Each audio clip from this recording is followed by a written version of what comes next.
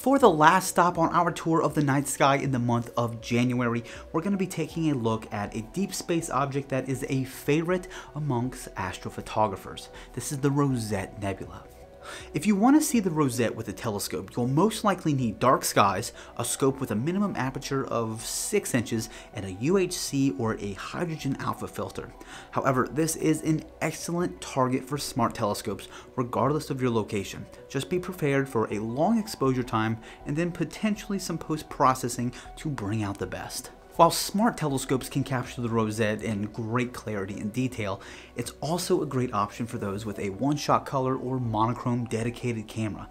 Using sulfur, hydrogen, and oxygen filters on this deep sky object will provide you a beautiful image with some incredible internal details on the Bok globules of the Rosette Nebula.